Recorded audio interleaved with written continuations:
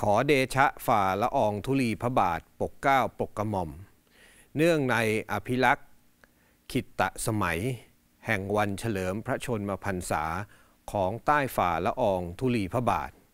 ที่เวียนมาบรรจบอีกคำรบหนึ่ง ในวันที่ 12 สิงหาคม พุทธศักราช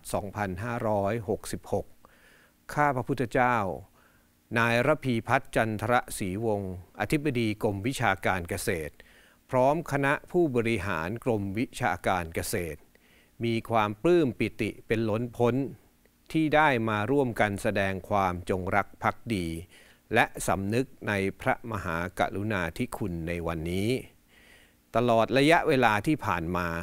ปวงข้าพระพุทธเจ้า ตรางประจักษ์แจ้งชัด ในน้ำพระราชหฤทัยและพระเมตตา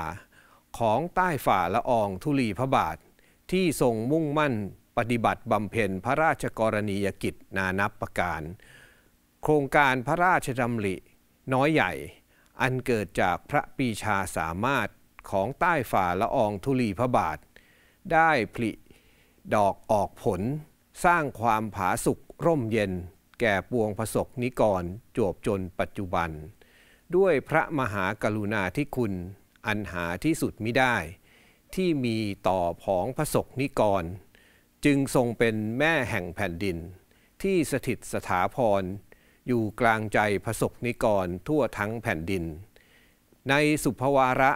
อันเป็นมงคลยิ่งนี้ ปวงข้าพระพุทธเจ้า ขอพระราชทานถวายพระพรชัยมงคล ขออัญเชิญคุณพระศรีรัตนตรัย และสิ่งศักดิ์สิทธิ์ทั่วสากล โปรดอภิบาลประทานพร ให้ใต้ฝ่าละอองธุลีพระบาท ทรงพระเจริญด้วยจตุรพิษตะพรชัย